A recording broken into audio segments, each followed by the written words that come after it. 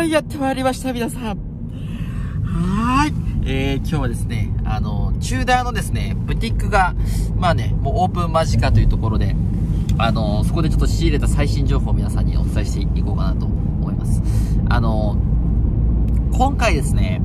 まあ、あの、ブティック、まあ、路面店が福岡に出る、九州に出るっていうのは、もう初、初でして、初上陸なんですよ。ほ んで、あの、まあ、今、ブティックって言ったら大阪が一番でかいんですかね、中ダは確か。大阪が一番なんかでかいかなんかで、なんか世界一でかいブティック、なんか面積になるのかなと思ったら、まあまあまあ普通の大体ブティックっていう感じですよね。西通りの、あのー、アップルストア、もともとアップルストアがあった楽天が今あるところですかね。それなんか道挟んで、あの、目の前にあの、新しくオープンするというところなんですけれども、おそらくなんですけれども、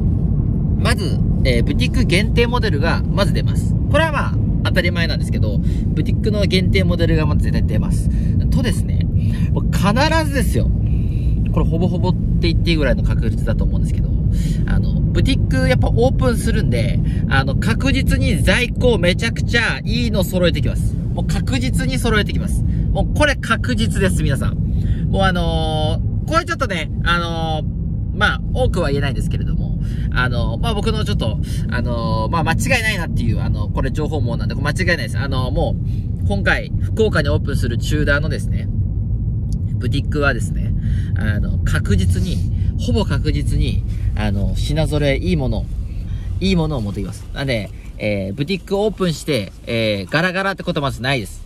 前回も去年なんですけど、指定モデルじゃないか。えっ、ー、と、中大の、なんだ、えー、新作が、えー、出た時は、えー、もう、新作発表日に、あの、中断ありましたからね。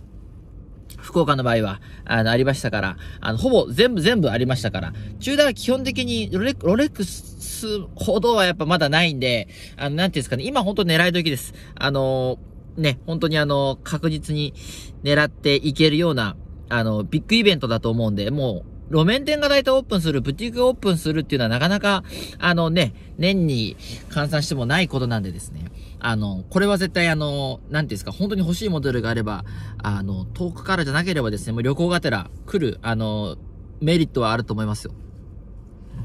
で、まあおそらくなんですけれども、多分もう2月中にオープンするんじゃないかなという感じですね。まあ2月中か、あのー、早くてですよ。でも3月中にはもう確実にオープンすると思います。あとはまあサイト、公式サイト通じて必ず、あのー、なんていうんですか、えー、宣伝告知が必ずありますんで、あの間違いない感じになるんじゃないかなと、僕は思ってます。ちなみにですね、え私、えー、中段のですね、ブティックオープンの際に、行きます！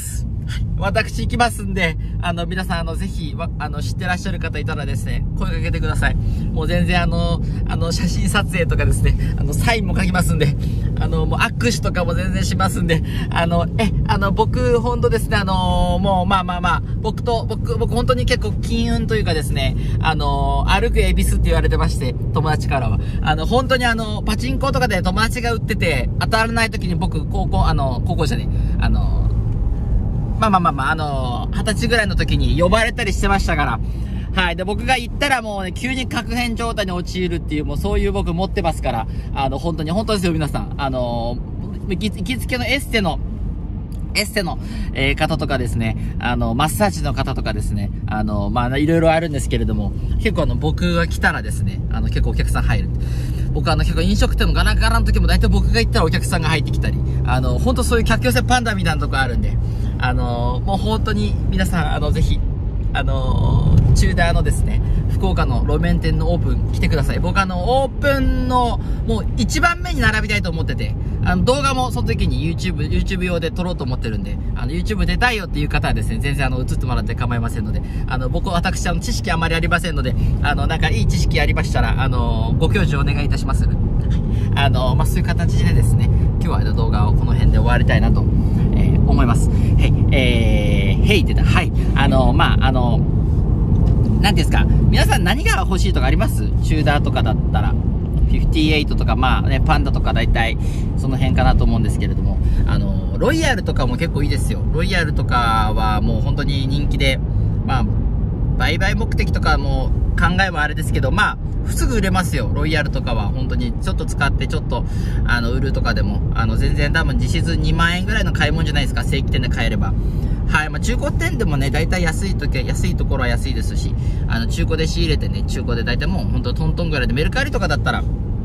あの、ロイヤル仕入れて、その値段で大体売れたりしますんで、もう0円で実質使えたりとかっていう、そういうチューダーはそういうなんか時計の使い方が結構できるんで僕は好きですけどね。ロレックスも、あの、そんな感じだと思うんですけれど、ま、まあ、間違いなくですね、路面店は本当にちょっと何でも言いますけど、あの、ブティックは、あの、オープンするにあたって必ずですね、あの、もう、もうほぼほぼ必ず、あのレアなモデルっていうか、品揃えは絶対揃えてると思います。僕的に多分、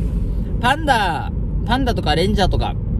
まあ、58もそうですけれども、まあ、GMT は絶対あると思うな。なんかあの、ペプシかな。あれは絶対あると思う。まあ、結構、あのー、普通の百貨店とかに入ってるような、まあ、感じの、なんて言うんですかね。いつもの感じじゃないと思います、絶対に。それはもう間違いなく、あの、確信してます、僕は。はい、あのーもうこれは絶対間違いないと思います。まあ、おそらくね、広告宣伝費とかで結構ね、お金かかってると思うんで、あとはまあ、あの、内装とかね、いろいろ結構お金は、ブティックってやっぱかかりますから、基本的にはね。やっぱ3000万、4000万、5000万って結構基本的にはね、ブティック出すにあたってそんぐらいかかると思うんで、最近では、あのー、なんだ、えー、西通りで言うと、ブティックで言うと最近、まあ、最近って最近ですよね。あの、タグ、タグですよね。タグホイヤーがオープンしましたけれども、うん、あの、まあね、すごい接客が悪いって有名ですよ。西通りのタグは。あの、みんな言います。あの、接客悪いって。なんかすごい押し売りが激しいらしくて、なんか、うん、結構すごいらしいですよ。評判悪いですね。あの、西通りの福岡のタグホイヤーは。うん。でもあの、まあ、そこにね、チューダーができるというところで、まあね、雪崎とかも西通りは結構中古揃えてる、